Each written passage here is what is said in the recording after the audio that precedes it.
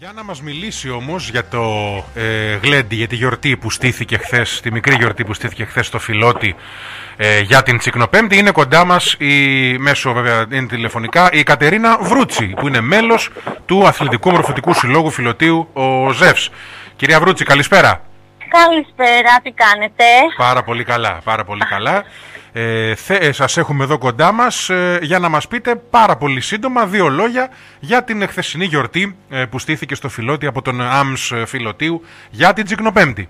Πολύ ωραία. Λοιπόν, ε, χθες λοιπόν μετά από δύο χρόνια ε, λόγω κορονοϊού, λόγω COVID που δεν μπορούσαμε να, να τηρήσουμε τα έθιμά μας, αναβιώσαμε ξανά τα χειροσφάγια μας, η ΕΑΣ Νάξου ε, μας ε, χορήγησε, με τη χορηγία τη δική της, ε, ε μας προσέφερε 3.000 καλαμάκια, σουβλάκια, άφθονο κρασί και κεράσαμε τον κόσμο μας όλων αυτών που ήρθε. Δεν, δεν είχε πάρα πολύ κόσμο διότι εντάξει δεν το είχαμε γνωστοποιήσει νωρίτερα, αλλά ήταν μια πάρα πολύ όμορφη τσικνοπέμπτη μπορώ να πω διασκεδάσαμε. Όσοι ήταν εκεί πέρασαν πάρα πολύ ωραία. Ε, και γύρω στο μεσημεράκι 4 η ώρα είχε τελειώσει. Αν, ε, είδα, αν είδα καλά και σε φωτογραφίες και σε βιντεάκια κάποια ελάχιστα που κυκλοφόρησαν, πρέπει να βγήκαν και οι κουδουνάτοι στους δρόμους, έτσι δεν είναι, όπως κάθε χρόνο. Βεβαίως, βεβαίως, είχαμε και κουδουνάτους. Ε, ήταν ε, παιδιά του σχολείου από το Φιλότη βέβαια ε, και μας θύμισαν λίγο τον ήχο του κουδουνιού που μπορώ να πω τον είχαμε ξεχάσει λιγάκι και ε, ενθουσίασαν τον κόσμο εκεί που πρώτη φορά έβλεπε το έθιμο αυτό. Και να ξέρετε ότι το έθιμο αυτό βέβαια υπάρχουν πολλές εκδοχές και ε, πολλές πληροφορίες για αυτό το θέμα αλλά αυτό που που ξέρει ο περισσότερος κόσμος είναι ότι τα κουδούνια τα χτυπούσαμε τα ξημερώματα της καθαρής Δευτέρας συνήθως πάνω στις ταράτσες τους, εμείς στο φιλότι βασικά, ναι, πάνω στις ναι. ταράτσες τους, οι, οι κτηνοτρόφοι, οι βοσκοί, ας το πούμε εμείς όπως το λέμε στο χωριό, ε, για να ξορκίσουμε τα, το κακό και για να μπει ε, να, και να, να υποδεχτούμε την άνοιξη. Ναι, ναι, να το πούμε αυτό. έτσι. Αυτό ήξερα και εγώ, αυτό ναι. ήξερα και εγώ και θα ρωτούσα έτσι, σχετικά. Μία, μία, γρήγορη, μία πολύ μικρή κουβέντα και για τα χειροσφάγια, ίσως τι ακριβώς... Λοιπόν, τι τα, ακριβώς, χειροσφάγια, ναι. τα χειροσφάγια είναι έθιμο που που είχαμε στο Φιλότ και νομίζω ότι υπάρχει και σε όλα τα χωριά της Νάξου.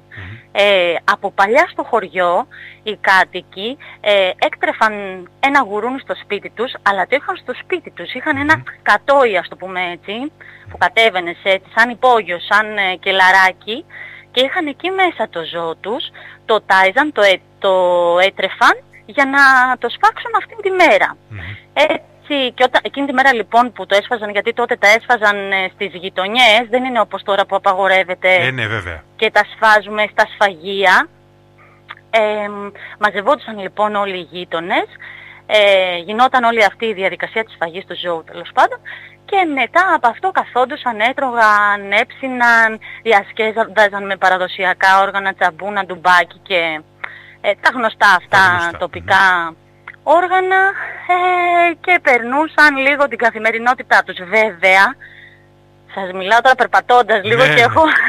Ναι, ναι, βέβαια το κρέας αυτό το οποίο ε, έσφαζαν εκείνη τη μέρα το διατηρούσαν με διάφορους τρόπους, ε, το συντηρούσαν για να το έχουν όλο το χρόνο γιατί τότε δεν υπήρχε η δυνατότητα να έχουν ε, άφθονο κρέας στα σπίτια τους λόγω οικονομικής δυσχέρειας. Έτσι ακριβώς. Έτσι ακριβώς. Αυτό δηλαδή ήξερα και εγώ και μας Και αυτό γίνεται και το, έκαναν το παστό, αυτό που έχουν στην Απίρανθο, το, έτσι το πάστοναν για να διατηρείται έτσι ώστε να το έχουν χρόνο, αρκετό χρόνο στα σπίτια τους και να μην ε, αλλοιώνεται υπήρχαν πολλοί τρόποι ε, συντήρησης του κρέατος, λόγω του ότι δεν μπορούσαν να έχουν, ε, την, δεν είχαν την οικονομική δυνατότητα για να αγοράζουν κρέας. Συνέχεια κρέας όπως έχουμε βέβαια σήμερα, έτσι, εμείς οι σύγχρονοι. Μπράβο, ναι. Πόσος, ναι. Κόσμος, ε, πόσος κόσμος περίπου, κυρία Βρούτσι, πήγε στο Γλέντι χθες; Κατά προσέγγιση ίσως. Αυτό που γινόταν, δηλαδή δεν μαζεύτηκαν όλοι να σας το πω έτσι, δεν μαζεύτηκαν όλοι μαζί, απλά